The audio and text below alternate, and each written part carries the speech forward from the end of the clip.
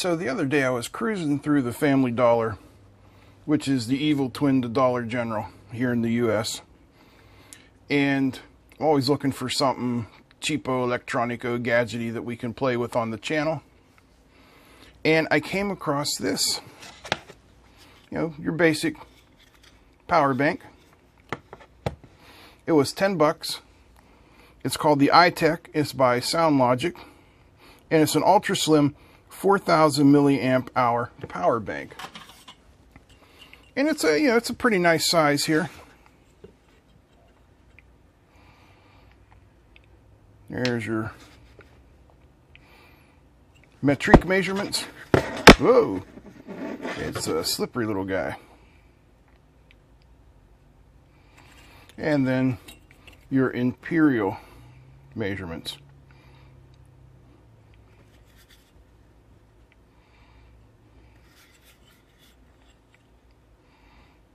Don't have a little scale here, but doesn't weigh anything. So here we have the instruction manual.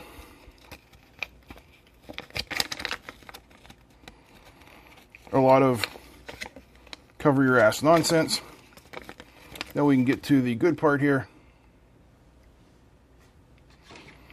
Specifications. Battery capacity 4000 milliamp hours. Output 5 volt at 1 amp. Input 5 volt 1 amp. Dimensions weight. There you go. There's your weight. 4.2 ounces. Built-in overcharge protection. Well, I should certainly hope so.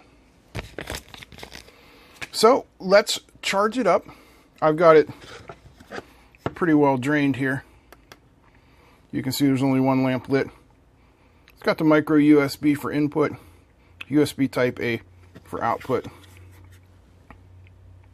Just a little, uh, get the light to come on here. Little cover your ass writing on the back. That's about it. All right, I'm going to charge it up and we'll see what it takes. Well, it took a few hours, but how well you guys can see the lights there. There you go. We are 100% charged. So we'll unplug that. And luckily, this remembers the amount of charge put in. So if I plug that in there, you can see, if I zoom in, at the, sorry, without the light, there we go. You guys read that? It took 1,842 milliamp hours. Yeah, that's not a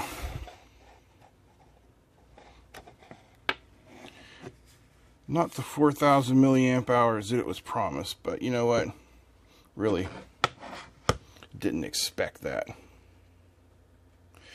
So our next test is to find out if it can actually output the rated current. It says 1 milliamp. So for that, we'll be bringing in this guy here, which is a 3 amp electronic load. So what we'll do is we will plug our charger doctor in here. And then we'll plug this guy in here.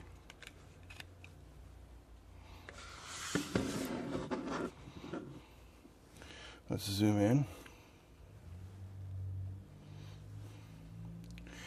And I will crank it up to uh, put some load on this thing. So there we are at a half amp and at one half amp you can see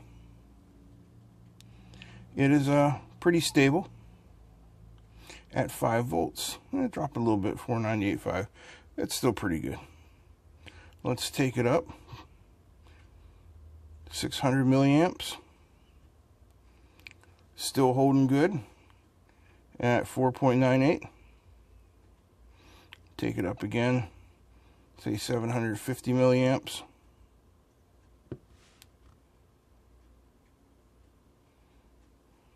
Okay, 860 milliamps. And we have reached the uh, theoretical specification lower limit for USB charge of 4.95 volts. So let's take it up to the 1 amp.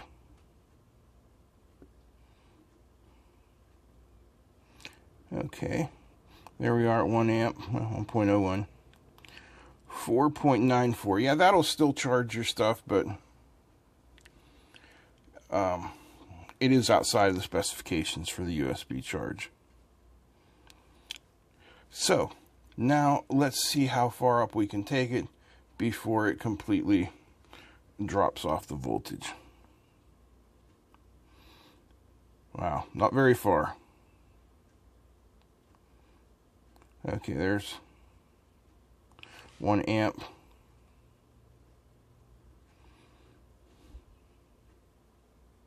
One point oh seven still good.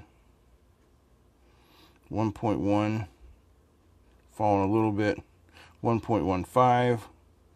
1.22 and we're down to 4.91 volts. Okay, 1.3 and we're down to 4.66 volts which in actuality would probably still charge, albeit slowly. Now we're down to 4.2 at one and a half amp. And that's it. She died. So at about one and a half amps, we've reached the total limit of this charger. Okay, so we tested its rated capacity, which is nowhere near the true capacity, and we tested its rated output, which was close enough on the mark. There's only one thing left to do, and that's have a look under her skirt. So we'll open her up and see what's hiding inside. And uh, in case she goes Chernobyl on us, I do have this lovely tin as a self-containment unit. All right, so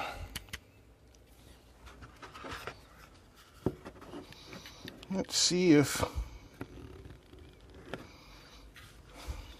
we can get this open.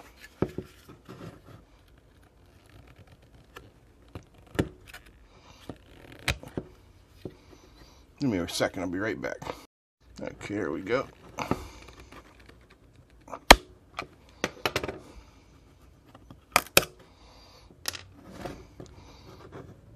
Looks like there's a some sort of secondary plug in there.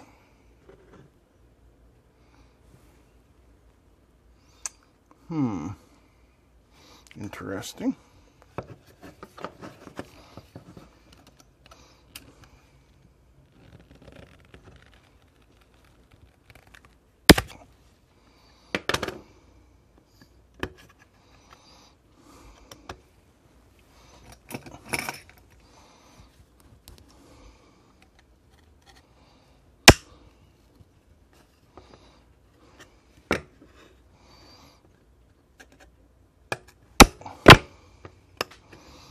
Okay, if I get just a little bit, oh, oh, a little bit deeper here.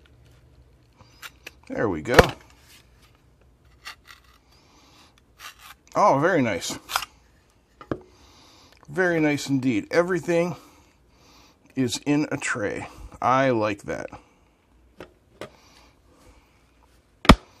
So let's reposition here and zoom in and take a look at the board. All right, here's our close-up look at the board. Over here we have, this is the power switch. We have an inductor. And this control chip, which is marked SY3511D. And I can't find a data sheet on it. The only thing I can find on it is that it is made by ThinkFar, and it is a linear charge step-up discharge mobile power chip. So that must be our protection. we've got a few passive components We've got our four LEDs for our charge status indicator up here. We've got our USB micro input here, our USB A output here. And then as you can see from the battery, on that side, and also from this side, there does not appear to be any sort of protection in there. Now another thing I've noticed is that there are a lot of unpopulated uh, slots here. Capacitor, transistor, capacitor, over here resistor, LED. So this board must have a couple of other auxiliary functions or can be uh, configured in a different manner. But that's pretty simple. And I have to say, I really like the design. I like the fact that it can be slid in and out of this case. I was not expecting that. I was expecting to have a fight on my hands. But in actuality,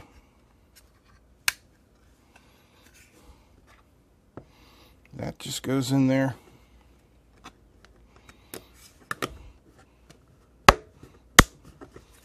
very nicely. And as you can see, we've done no damage. So that's our look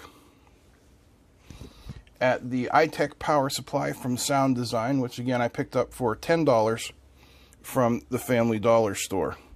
It's 4,000 milliamp hour rated capacity, but you saw it took less than uh, 2,000 milliamp hours in a charge.